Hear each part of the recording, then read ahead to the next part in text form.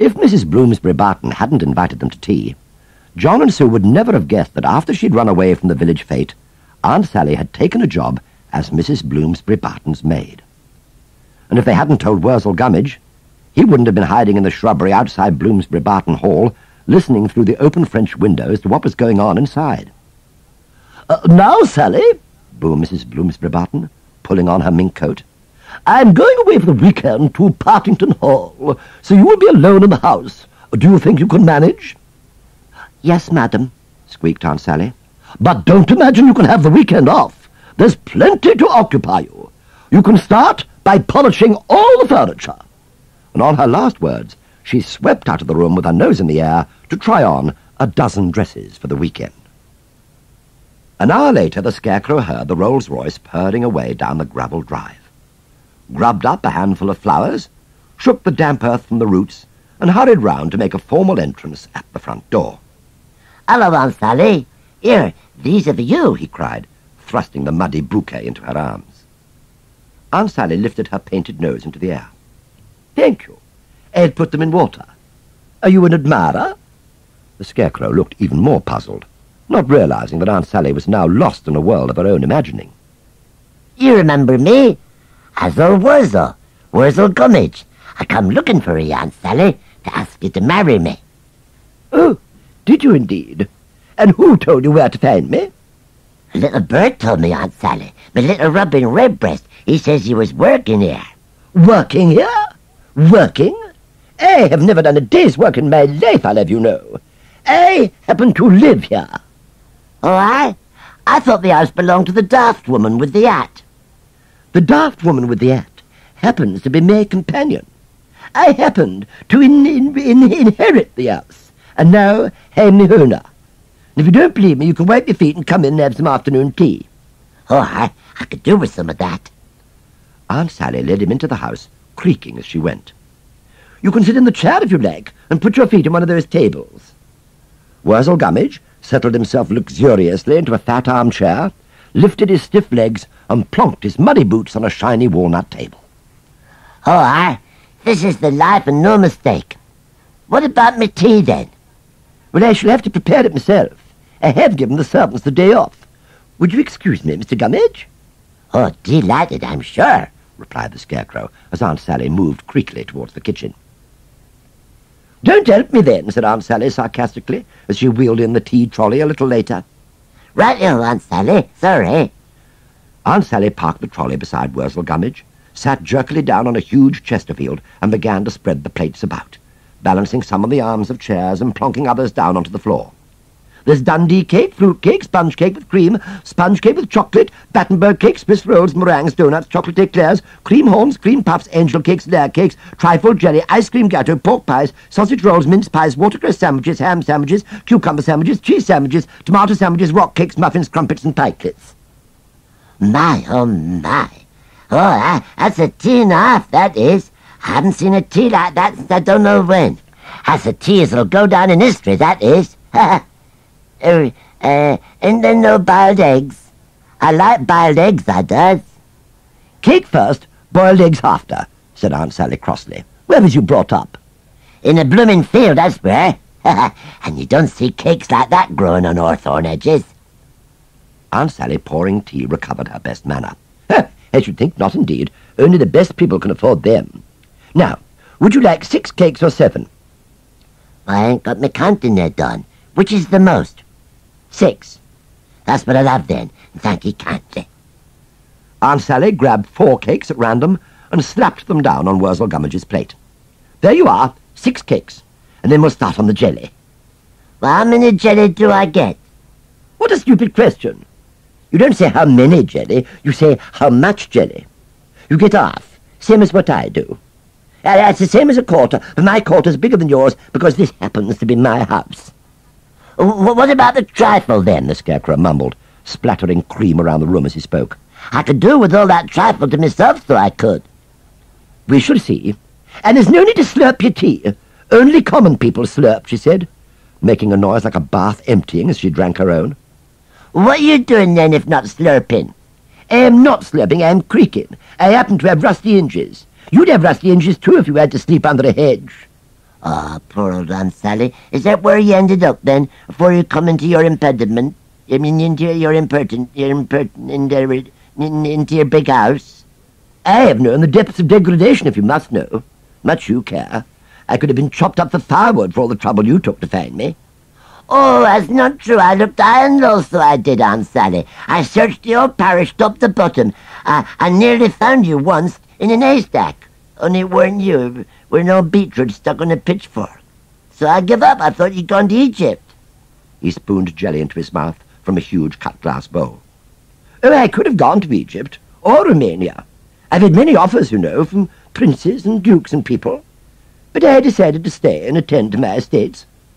After all, I do have Duchess's blood, you know. I come from a long line of ladies. I may have had to sleep under hedges, but I have always been a lady. And take your thieving hands out of that there cake. Why, it's my chocolate cake, Aunt Sally. Now, looky here. I had one, two, and, and, and three cream cakes, and then I then I had another one, and, and, and then another one. That there chocolate cake's mine. Then take it then, she cried. See if I care and she squashed the squishy cake onto the scarecrow's nose. All right, That's like that, is it? Well now, to complete that game, and he poured a whole bowl of trifle over Aunt Sally's wooden head. My pretty face! You've spoiled my pretty face! You, oh, you horrible heap of straw! And she flung a jelly at him. Ah, do that to me, Woody, you jelly-throwing clothes peg. I'll show ye. Worzel Gummidge took a sponge cake in each hand and clapped them to the sides of her head. Soon the room was in chaos as they bombarded one another with all the cakes and trifles and jellies they could find, screeching and shouting insults as they threw. Oh, you mouldy old sack of potatoes, you! Ah, you're just a skittle with an head on. That's all you are. Turnip-face, firewood, haystack, broomhandle, scarecrow, coconut shy. And they raced towards one another, slamming blancmange into each other's faces. Soon the drawing room of Bloomsbury Barton Hall was in chaos. But in the middle of it, Worzel Gummidge and Aunt Sally were at peace. Cakes and trifles and jellies had flown everywhere, spattering the furniture with cream. There was chocolate dribbling down the walls, and the odd sandwich and eclair had lodged in corners and on the tops of pictures. Shall I tell you something, Aunt Sally? That were a very fine tease just I had, but, you know, I still feels a bit hungry, seeing as how most of it didn't go down my stomach. Aunt Sally creaked to her feet. Oh, that's easily remedied. I've got lots of food in case important people come to dinner. I give them boiled eggs, usually. Oh, I, you said I could have a few boiled eggs after I've eaten my cake. Well, I'll see if I know how to make them. I usually leave it to the cook.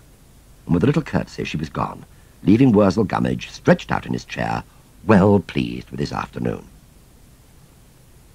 Hello, said Mr. Peters, driving the children back from shopping towards Scatterbrook. Here's trouble.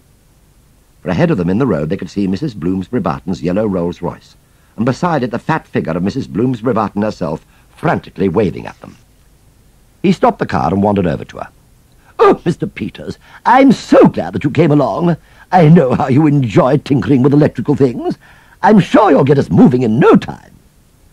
Mr. Peters and Humphrey, the chauffeur, examined the engine and shook their heads. Oh, I'm sorry, Mrs. Bloomsbury Barton. I reckon you're going to need a new gearbox.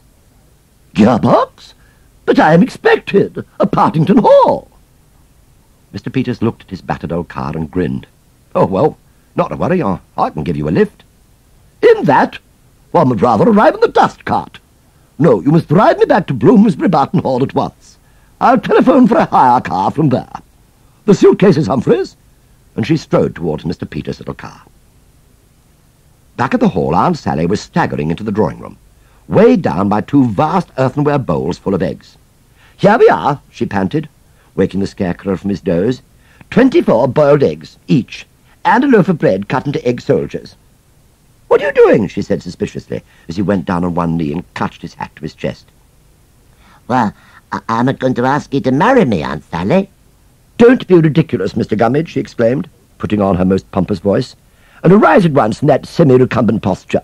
Besides, your boiled eggs will get cold. It don't matter. Don't matter if I starve from hunger.